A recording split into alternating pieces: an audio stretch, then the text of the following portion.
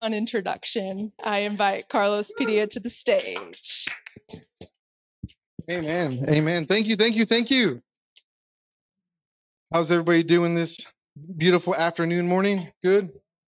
Awesome. Well, welcome to the kingdom. If you haven't figured it out by now, we don't have any idea what we're doing, which is a good thing because I mean, by church, systematic, structure, policy, we have failed big time already. And we're just here to continue to make history. So um, it's good that you guys are with us. Welcome to the kingdom. Again, my name is Carlos Padilla. I am the senior leader here. And um, thanks for joining on the conversation today. We're going to talk about the power of peace. Somebody say, power of peace. Amen. You know, um, I, when I was putting this together and doing the design, does this sound fam- look familiar to anybody? It's like the raging waters, and you're that little boat out there, and you're sending out an SOS, and there's no no correspondence. You know, have you ever been there in your life? Like, have you ever been in a good season of your life, and then all of a sudden it's full of fear, and the peace that you once had is just kind of just pulled right out of you? You know, um, about a year and a half, or about two years ago, when we decided to plant roots here in Omaha, we were living with my mother in law. Yeah, it's cool. 39 year old man living with his mother in law. Um, but, but we were living with my mother in law, figuring out what we were going to do. I had been doing a lot of itinerant ministry, and we just came back from awesome, like probably one of the most amazing ministry trips I've ever been a part of in my life. I had the opportunity and pleasure of preaching in Brazil at a healing conference, and there was over 2,000 people there, and we saw over 1,900 miracles. Like it was crazy. I'm talking about people with tumors healed out of wheelchairs. It was amazing. Praise God. Man, it was so awesome, man. I remember coming back, I had such a high of peace. You know, I was like, man, God, dude, like, if this is the height of Christianity and this is what Acts looks like, man, we, we're doing it. Let's go hard and let's get it when we get back to Omaha. So I remember we were um, flying on the way back. And um, by, at that time, I was a little heavier than I was today. But man, when you're in Brazil, all you do is feed you red meat. I mean, I know you guys are from Nebraska and I'm from Texas, but man, no, they take it to a whole nother level there, you know? I'm talking about red meat, red meat, red meat. And I'm coming off this like spiritual high and full and my face is full. And I tell Beth when we get home, man, I'm gonna make a change. We're gonna start a diet and everything's gonna be good. So what did we try to do? We did plant-based. I know, yeah, I know. It's it's like it's like a sin in it's a sin in San Antonio because I had to get this thing called soyrizo instead of chorizo, you know. And I got so much hate mail on that because my all my Mexican family's like, man, we just own you, man, we don't know you anymore. You went to the dark side. So we, we, we made this valiant effort to, to go plant based. And I remember we came off this spiritual high and I wanted to be healthy. And we did it for like six months, no meat, just just straight plant based stuff. And then on top of that, I did something that's very foreign to me and a Texan and probably a Nebraskan too, is is juice every day. Have you guys ever juiced every day? Like, man, like, you know, we went hard on the juicing. We didn't buy meat. We bought things and it was like me, me, me, me, me, me, me, me in the blender all day. So I was taking juices and going crazy. And the moment, in the moment that I, I want to get healthy, I want to make a life change, the scariest thing happened. I went to the bathroom and I know this is kind of a little too much, but you, you get what I'm painting down. I went to the bathroom and I looked and it was red. Scared me. You know, and I was like, oh my God, what just happened? I mean, I went to the bathroom and it's it's the the mess and red what's going on and i lost my peace coming from a spiritual high coming back from brazil ready to conquer the world i start a new diet i go to the bathroom and it's red I freaked out. I freaked out. So what did I do? I called my uncle, who's a doctor. I'm like, "Hey, Uncle Joe, man, dude, I don't tell my mom, man, because she's gonna get freaked out too. But look, I went to, I, I started a new diet, man. I'm on this thing, and I went to the bathroom and I saw red there, and he stayed quiet. And my mind's going like a million miles an hour. What is it? What is it? And he goes, Well, I don't know what to tell you. I mean, I'm not there, but I'll tell you one thing monitor it for another week. And if it's still there, let's have a, a discussion. This could be serious. That's what he sent me. That's what he told me. So I'm there in the middle of this discussion, the man of glory serving God coming and just afraid. So what do I do? I go to like to Web, WebMD. You ever done that? You know, I went to WebMD and it's like, well, what does it mean if I have red in my stool? And it's like, cancer, all these different things. And all of a sudden, a healing minister who's having a book come out like in a couple of months about divine healing, I'm that guy. And I'm like, oh my God. And what, what looked like such a peaceful situation in Brazil I came home to was a storm.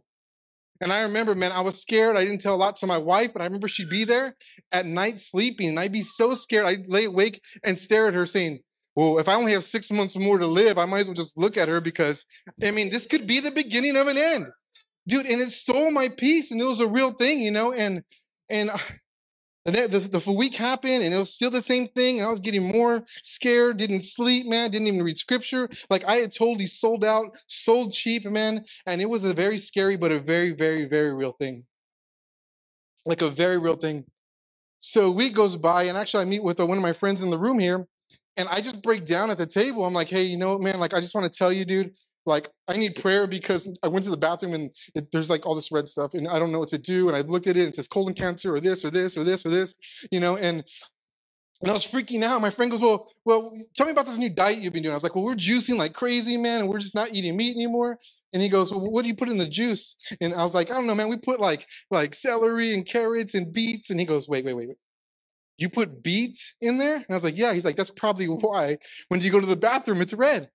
You know? And I was like, oh my God. And the biggest wave of just like, oh man, thank God. Like, oh, you know, like just in that middle of that conversation really kind of woke me up, right? But for a week and a half, I didn't sleep. I didn't read scripture. I was stressed out and coming from a situation where we saw 1,900 people healed. I had forsaken the ship, jumped in the water, and just choosing to drown. You ever been there? Oh, cool. So we're going to talk about peace today. And, and if you haven't been there, I want to tell you about a story about a couple people who did in the Bible and the Gospels, and it's the disciples of Jesus. So we're going to start in Mark chapter 4, and we're going to be talking about the power of peace. And we all know the story. We've heard it, you know. Jesus, by this time, is going throughout Judea, and he's healing everybody, man, like lepers, everybody. And he's talking to Pharisees and trying to get their mindset straight. But he's doing these incredible miracles. And then it gets to a point where he gets in a boat in the water because they're all coming at him for healing, and he starts preaching from the boat, right? So he does this, and these people are just kind of coming at him like a rock concert, like he's the rock star, and he's actually tired. And he's like, he goes to the boat, and he stands in the boat and he starts preaching. And after that, the, the crowd's so big, he tells the disciples, he tells them this. This is Mark chapter 4, uh, verse 35. It says this, and on the same day when evening had come, he said to them, let us cross over to the other side. Somebody say, let us cross over to the other side. Okay, put that in your memory bank. Verse 36. Now, when they had left the multitude, they took him along in a boat as he was. Like, what does that mean? They took Jesus as he wasn't, as he was. Jesus was tired, man. He'd been doing so much ministry that everybody was pressing in and he was healing people, doing the goodness of God, showing the authentic nature of God. And he said, Hey, man, we need to take a break. Let's get in the boat. Let's go across, right? So it says this, um, and, and other little boats were also with him. And a great windstorm arose. Somebody say a great windstorm arose. Okay, so Jesus with his guys just healing everybody. Jesus said, let's get in the boat. We got to go the other side. And then these guys are fishermen. So half the people in the boat are familiar with this with the sea. They know what it's like to be in the middle and they know how terrible it could be when certain winds pick up and stuff like that. So he's not taking strangers. He's taking people who are actually fishermen in the middle of the sea, and we'll see what happens right here. It says a great windstorm arose, and the waves beat into the boat so that it was already filling. Next screen. But he was in the stern, Jesus, asleep on a pillow. Somebody say Jesus was asleep on a pillow? Isn't it funny because Psalm says that God never slumbers and Jesus is asleep? I'm not trying to question theology. I'm just saying it's a metaphor, right? He, he's always like looking after us, right? So it says, but he was in the storm asleep on a pillow, and they awoke him and said to him, Teacher, do you not care that we are perishing? And then Jesus woke up and said, OMG! I mean, OME! No, no, you won't find that in the Bible, right? But the, he's in a boat, he's asleep on a boat, wind picks up, storm happens, and the guys freak out, the disciples. They wake Jesus up and say, Teacher, do you not care that we are perishing? Then Jesus arose, rebuked the wind, and said to the sea, Peace be still. And the wind ceased, and there was a great calm. We've all heard that story, right? They're in a boat, familiar territory. Gets a little rocky, wind, waves, crashing, storm. Jesus is asleep on the boat. Guys, if Jesus is asleep on a boat at rest in the Sabbath, you should be too. You should be too. If Jesus starts his declaration saying, let's go to the other side, that's a promise. We're going to get there. Right? So, okay, next week. Oh, and then he says, yeah. And he said to him, uh, Why are you so fearful? How is it that you have no faith? And they feared exceedingly and said to one another, Who can this be that even the wind and the sea obey him? You know, how many know that Jesus was there at the creation, right? How many know that Romans 8:19 says that creation is groaning in heavy expectation for sons and daughters to be revealed, right? So Jesus, the creator, the model of sonship himself, the Father, the Son, and the Holy Spirit, who comes to introduce humanity back to God, but also introduce to humanity back to true humanity, stands there and commands things to happen, and it happens. How many know Jesus came as our substitute sometimes, but he came as our example? Amen. And if everybody, every, every, everything's going crazy, who's in your boat? You see, in a couple of chapters later, there's a similar story where they're in a boat. And this time, Jesus just feeds like 4,000 people and they have leftovers and they get in the boat to go to the other side. And what do the disciples complain about? There's not enough bread. And he had just fed 4,000 other people. See, it's not about what's in your boat, it's about who's in your boat in the middle of the storm. And if he's asleep in Sabbath, believe him and take a rest. Because if not anything you do outside the will of God to fight the devil, you're gonna have to stay there in order to maintain it and do it yourself. And how many know the devil plays off exhaustion, off ignorance? You know, it, it brings me back to the garden too, though, you know, and I love shaping it back to the garden because how many know that that even the things in the Old Testament served as a shadow, but there's a substance, right? And the substance is Christ, and we can find him in the Gospels. So you see in the Garden of Eden, God says it's good, right? And then he creates, he created everything and said it was good. And then he puts them in a garden. And the devil said, No, it's not really that good unless you eat from the tree. Just like these people in the storm, Jesus said you can rest. And they got fearful and ate from a different tree by obeying the wind and letting that be their, their vision instead of the promise to get to the other side. Next read. You don't have authority in the storm you can't sleep in. If you're not rooted and grounded in Him, everything else is going to determine your time and temperature in life. And Jesus promised that there's trial and tribulation coming. There's going to be sorrow. There's going to be grief. There's going to be temptation. There's going to be persecution. But how many know Christianity is not about all those things? It's about finding peace in the middle of those things. See, Christianity is not about the storm. It's not about the, the, the, chaos and all that stuff. That's coming. We live in a fallen world. But can you find peace in the middle of that? And I'm here to tell you today that peace isn't the absence of chaos, it's the presence of someone in your boat. Peace isn't the absence of something. God, take away this and take away that. And He wants to, but He wants to give you a revelation of what's inside of you. How many, how many know you are prime real estate for the Spirit of God to be enveloped in you? He's calling you the tabernacle now. That's why they haven't rebuilt the temple in Jerusalem, because you're now the tabernacle. And the fullness of Holy Spirit lives inside of you, crashing from side to side, giving you comfort in the middle of your storm. So if it's sickness, if it's disease, if it's financial things, don't worry. Know who's in your boat. Know who is in your boat today, guys. But you can't have authority in a storm that you cannot sleep in. Jesus goes to the cross, right? And it reminds me of the garden too. He says, It's finished. It's finished. I'm back at rest and I'm here to present it to you so you have no other depiction of works outside of my grace to accomplish what you need in life. In the garden, God said it was good. They didn't believe him and they went and ate from another tree. Jesus tells us today, the disciples, the world, that hey, it's finished. And we choose not to believe him too and try to unfinish what he's already completed. And then religion makes a lot of money off of bridging the gap that's not there when the message is union. So it's not about what's in your boat, it's about who's in your boat. If you can't have a you can't have authority in a storm that you cannot sleep in. The default of Christianity is Sabbath rest. And guess what? It's not a day. No day is holier than the other now that Christ has come. You are the Sabbath. He lives inside of you. It's a permanent rest. It's a permanent, it's finished. It's a permanent, it's a permanent settlement that God, the Father, Holy Spirit, and Jesus had that's what they're, they came to introduce to humanity to remind them of what they forgot about before Adam and Eve sinned in the garden. He's come to restore, he's come to redeem, not just health, not just not just a restorative justice, not just like financial blessing, but the peace. Next screen. I don't know where I am. This is one of my favorite scriptures because this is found in John chapter 14. And this is when Jesus, probably at one of his most vulnerable moments in life, he's talking about the Holy Spirit. He's saying, he's telling these guys that he's been telling for the last couple of months, hey, I'm going to die. I'm going to leave. But don't worry, I'm going to send you a comforter. And he says this Peace I leave with you. My peace I give to you. Not as the world gives it to you. Let your heart not be troubled, neither let it be afraid. You see, this is a thing in life. Without Jesus, you have a phony peace. It's going to be temporary to temporary to temporary to temporary. It's like a dog chasing his own tail for peace and peace. And you might throw another prayer and you might throw another fast. And you're always chasing something. And there's no rest in there, even if you get it temporarily. Do you see what I'm saying?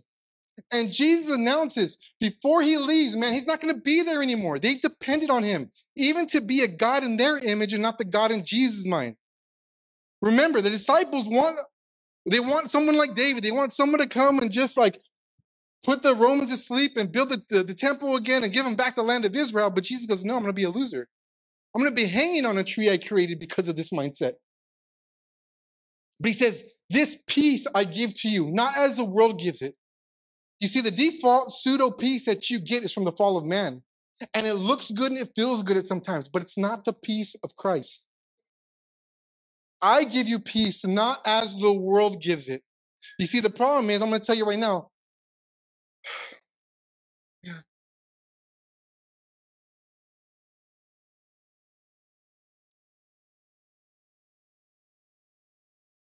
I see a lot of Christians' lives in, in debate in contention with something when they're not at rest. See, don't let the world steal your peace, but more so, don't let them give you their counterfeit either. You're here to announce the peace of Christ. Romans 5 1, and this is what it's about. We'll talk about it more next week, but it says that you've been justified by grace and have peace with God. See, God doesn't have beef with, beef with humanity anymore. He, they've actually settled at the cross and they plainly published in the sight of humanity that there's no beef, that God's never seen different. It's our mindset, the division, the blindness that we've gotten from Adam that's blinded us from that intimacy. My peace I give to you, not as the world gives it, my peace. Don't let the world steal your peace, but don't accept the counterfeit either. Peace comes from one person, it's a person. His name is Jesus. It doesn't come from a situation, it comes from him himself. And believing like him puts that peace in your heart, you know? Three years ago, I was in South Africa, or no, four years ago, I was in South Africa. And um, I was on a mission trip and I got run over by a car coming 40 miles an hour. Real story. In the middle of the street, I was there preaching the gospel, cross over, and they drive on the wrong sides of the street there. And as I stepped, I got run over by a car. You see, but up until that point, I had been learning about the gospel of righteousness and that I am really holy, blameless, and above reproach, not based on my merit, but because of what Christ accomplished on me, in me, and through me, right? 2,000 years ago. So I started accepting that and I started having fun with God. And when I got hit by the car, dude, I was at so much peace. That's the only thing I could feel. My legs were broken, compound fractures, people going crazy around me. I mean, the, the sirens, the awe, the fear. I could feel it all, man, but my position was in peace. I was on the floor smiling. See, because the car is coming, whether it's financially, relationally, people aren't the best representations of what they preach. But are you filled with his peace before the storm comes? Is your default to the world that, hey, it doesn't matter what comes to me, it's not going to happen through me? Are you rested? Are you settled? Are you just as much um, as much Sabbath as Jesus is? Do you have the same belief system that Jesus has today? Because if it's not, you're going to make a lot about your storm, and it, it makes a great testimony. But my life is not about the hell and back I've been through. It's about what my Savior did for me 2,000 years ago that awakens me to be victorious in the middle of that storm. I'm all I'm all good for your testimony. I want to hear about it. But if it's just about you and how you recovered from this and this and this, that's awesome. But let's glorify God in this and not your process. He pulls you through that and he gives you a new name, a new a new thing, redeemed, valued, not addicted. If you are addicted, you're addicted to a new punch, a new wine that he's serving up. It's not that hard, but if you calibrate your life based on what the world gives you, dude, you're gonna have to live under the mercy of that. And there's even people and great believers that'll help you accommodate that when Jesus has a bigger profession about you in the middle of that storm. So are we adopting the spirit of peace today? Because peace is a person and he don't leave. You could choose not to, you could choose to ignore it. You can choose not to be aware of it. We can be unmindful of it sometimes, but he's there. You know, in Second Corinthians, it talks about a treasure. How many know that treasure doesn't become real when you find it? It's always been there, waiting to be unveiled, waiting to be revealed. Revelation, something's already there. It's the veil's lifted. And Christ has done so much at the cross to make us sure in our storm that a storm is not our story. You know, when he says, My peace I give to you, not as the world gives it, when he rebukes the winds and the waves and says, Peace be still, Jesus would have used this word called shalom. Say shalom. And, and I know we read about that, and you know, you see in the Jewish context, people they they offer shalom, you know, good night, how you doing, you know, uh, that kind of thing. And what it means is peace. It means harmony. It means wholeness. It means completeness, prosperity, welfare, and tranquility. But it also means something else. And it's funny when you go to shalom in the in the pictology. I did some research for you. So shalom, this is a how you say it in Hebrew, and in the pictology, this is what it means. The first uh, character is shin. It means it represents two front teeth and, and can mean sharp, eat, consume, separate, or destroy. Lamed means is a picture of a shepherd's staff. The shepherd used the staff to exercise his authority over the sheep to direct and lead them. It can mean teach, lead, yoke, move forward, or authority. So you have destroy, you have the word authority, and then mim means illustrates water and waves. Funny, right? With the storm, right? Shalom, referring to water and waves in the pictology. And it says this As nomadic people, the Hebrews did not understand the waves or waters of the ocean. So the letter came to mean chaos, mighty, or blood, right? And then the last one is Vav and it means to represent a tent peg or nail and means to secure or hook, but it can also simply mean to peg or nail. So when you look at the pictology of the word shalom, you're not just saying peace, completion, all those things are yes, but what it means is it's the spirit that destroys chaos. They were in chaos, and Jesus, the spirit of peace himself, spoke to it to destroy the chaos. You know, shalom is probably one of the best healing prayers you can do, guys. You know, um, for for two and a half years, I sat under uh, Chris Gore, the director of all of healing ministries at Bethel Church, and I had the pleasure and the honor of traveling with this guy around the world uh, multiple times. And we were in Australia, and uh, Chris's team, including myself, we saw probably today about 80 kids healed of autism from every spectrum, from the worst spectrum to the small spectrum, like overnight laying hands on them, right? And when Chris Gore told me, you know, that when you pray shalom, you're just not imparting peace. That's a big thing. You what you're saying is destroy chaos.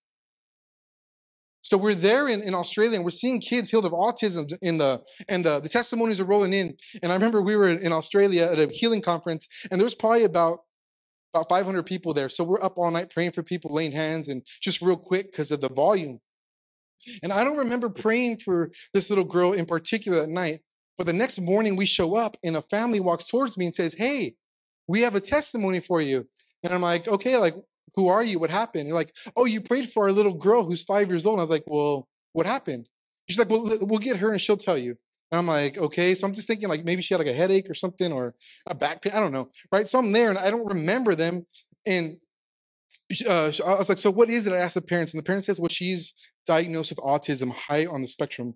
And she wakes up every morning. We have to get her dressed. We have to put her shoes on. We have to walk her to the kitchen. We got to sit her down in the seat and all these different things, you know, to kind of help her out. I'm like, okay. So the little girl comes running towards me and she's like, hi. And she's kind of shy. And the parent's like, well, tell us, tell Carlos what happened. And, uh, and she's kind of quiet. And the parent's like, it was unreal. We woke up this morning and she was at the table by herself having breakfast. And I'm just like, whoa, praise God. And I was, I was, like, so what happened? And I'm like, wow, this is amazing. Like this little girl who wasn't able to walk herself to the table, serve herself, was there awake before anybody else eating her cereal. So I'm like, awesome. Whoa, this is crazy. And they're like, that's not the best part. And I'm like, well, what's the best part? And the girl goes, oh yeah, last night when I was asleep, Jesus came to me and he gave me a golden brain. How many know that autism is the chaos in the brain? So when you lay your hands on someone and you say shalom, it's not just a greeting. What you're saying is, I give you the spirit that destroys chaos. So you're in a position because of who's inside you, who's in your boat to speak. Because how many know the kingdom is voice activated? to speak to the storm. Shalom, my peace I leave with you. It's an unfamiliar peace that you might get from the world. And maybe it looks like it a couple of times, but man, I want you to be so rooted, grounded, and convinced that I am who I say I am, that when the storm comes, you look like me anyway. You know, um, I traveled with this guy named Todd White one time, and he told this story. He's like, you know, it's funny when you when you uh, get an orange and you crush it and you squeeze it. What do you get? Orange juice, right? He's like, when you get a, a lemon and you squeeze it, what do you get? Lemonade. He's like, why when you have a Christian and they're crushed by the weight of the world, you get everything but Christ? And it's simply because we're not convinced, we're not consumed, we're not enamored with his peace that takes residence inside of you. You see, Romans 5 1 says it's a peace in which you stand. Like you're in it. It's actually what it means in the Greek is that you're standing on top of it. It's your lifting platform. So you're not looking for peace in the middle of the storm. You're standing on it and it's supporting you. And it's supporting you because it's God's good pleasure to give his kids the kingdom. See, guys, we don't fight for victory here, we fight from it. We don't fight for victory, we fight from it. So, what's stealing your peace today? Next one. I said it earlier, but peace isn't the absence of something, it's the presence of the king himself. Peace isn't the absence of chaos. You can pray that away, that's fine, but if you don't replace it with the, with the man of peace, it's just going to be a recurring cycle and it's going to dictate how you live. Look, I know we're in different storms in our life right now. We're at different stages, and, it, and it's good. We want to walk you through that. This is more of an invitation, but it's also meant to show you that where do you find peace in today? Are you finding it in circumstances, how people do you, or by He who's crucified for you? You see, guys, what happens to me in life isn't the greatest indication of what's true. What Jesus did for me is the greatest indication of who I am. But I'm telling you, if you adopt another meaning, another foundation, if you build on sand with another meaning that's not his shalom peace, man, you're going to be drowning. And we all know that. Cool. You know, and I'm just going to wrap it up like this, but this is a funny thing too, because remember at the beginning, I had you say, and he said, let us go to the other side, right? So there's a bigger picture for Jesus. They're not just in the storm and he's asleep in there, but Jesus is not. Did he know the storm was coming? Yeah. Was he asleep in it? Yeah. Did he expect everybody else to sleep in it? Pretty much. Yeah, right? But but how many know that there was a bigger picture? It wasn't about the storm, it's not about your storm. I'm not I'm not devaluing the fact that you're going through stuff, but I'm saying, dude, there's a bigger picture in all of this. See, if you go right here on verse 35, this is the first uh, verse we read of Mark chapter 4 when they go at sea. And it says, On the same day, when evening had come, he said to them, Let us cross over to the other side. He's like, I promise you, we're going to get there. So you should be able to rest, right? Next screen. Why did he have to go to the other side, right? Why would Jesus have to go to the other side? And then you look in uh, chapter five, and how many know, very important, that there's no chapter breaks when scripture was written? Right? We read chapter four, we close it, and read chapter five a week later, and it doesn't connect. But Jesus does his ministry, is tired, gets in a boat, let's go to the other side. For what reason? And in, in chapter five says this Then he came to the other side of the sea, to, to the country of the Gadarenes. And when he had come out of the boat, immediately there met him out of the tombs a man with an unclean spirit who had his dwelling among the tombs, and no one could bind him, not even with chains, because he had often been bound with shackles and chains. You see, guys? Yes, you may be in a storm by yourself, but just know that if Jesus is resting, you can rest in it too. And he has a bigger picture. He's trying to reach them. Let's go to the other side. I got business to take care of. But if it's always about our battle and our interior struggle and what we got to get through and how everybody's doing us wrong, we never manifest the kingdom to anybody else. You know, it's a wake up call, you know, because I love the church, man. I'm a champion of the church. But you know, we see people in church just as depressed, anxious, fearful, depleted as people who don't go to church. And then when you invite them into your church, like I look just like you without the commitment of giving.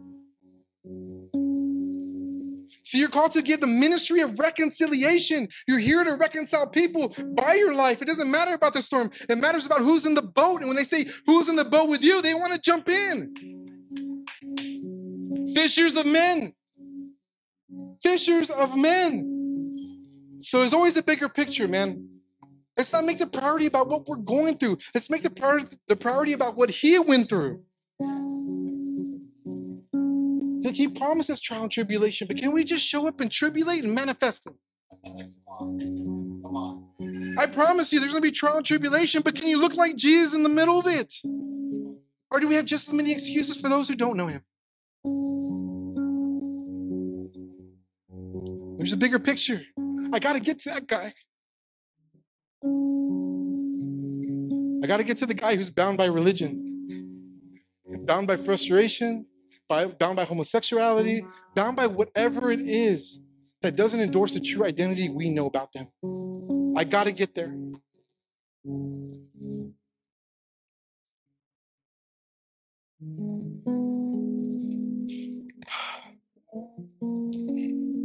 You know, the fast track to peace right now, not a temporary one, a living one, is not forgetting what has already happened. I'll say it like this the fast track to peace is remembering what he's already done. Remember, prior to these things, he'd done so many miracles. He had fed 5,000, 4,000, healed the sick, saw crazy miracles, and these guys are in the boat still thinking they lack. See, the fast track to peace right now is remembering what he's done, and we're going to do that right now. Because we're not just a church that preaches a good message, we're a practical church. And we're going to take communion. First Corinthians, they recite communion. Let's go ahead and pass them out. We're going to take communion right now. And I believe that when you take communion, you can be healed, you can be set free from addiction, you can be set free from whatever it is you're going through guilt, shame, condemnation. Dude, Jesus bore all that on the cross, and He's waiting to show you and introduce you to Himself.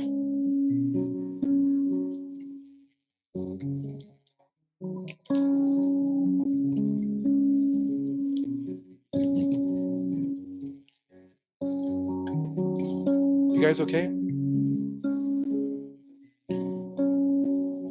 Whose peace do you have today, guys?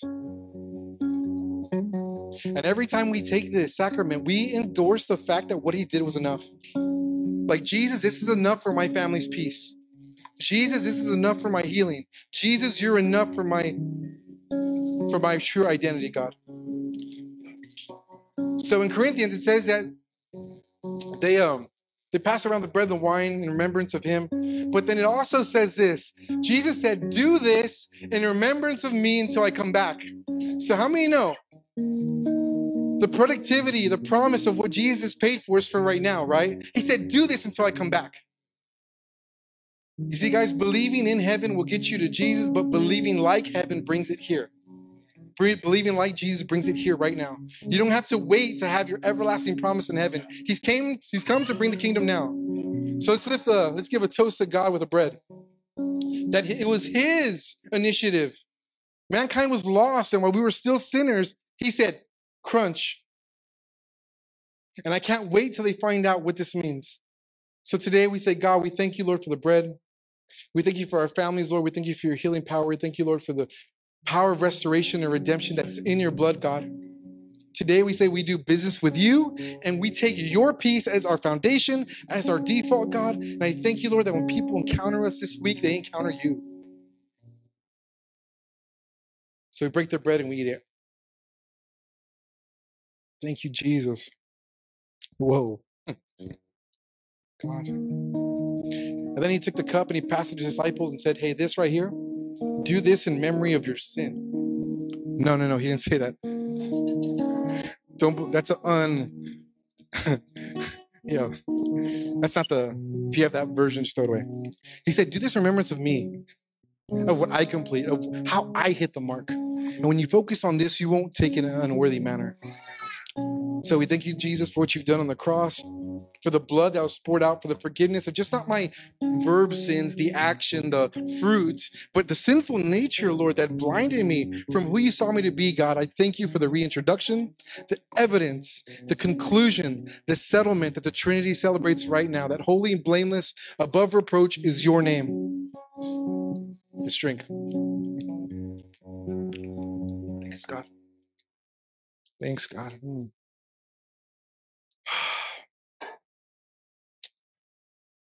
My shalom I leave with you, Jesus says. The ability to destroy chaos, the ability to have peace, be content, Because you know, guys, I'm going to talk about this next week, but I just want to brief you. It's okay to be okay. It's okay to be okay. It's okay to be okay today. We make a lot of if you're not okay, it's okay. And I'm for that too. We want to find healing for you. But you know, it's okay and to wake up and be loved by God. That's his intention. So we'll talk about peace on a more practical level next week. But hey, we're gonna have some uh, prayer team up here. If you guys want to pray for anything, you know, peace. We're gonna encourage what peace looks like. Come on up. We want to bless you guys. Um, we'll see you next week. We love you guys. Thank you for coming to the kingdom. Amen. Thank you, God. Praise God.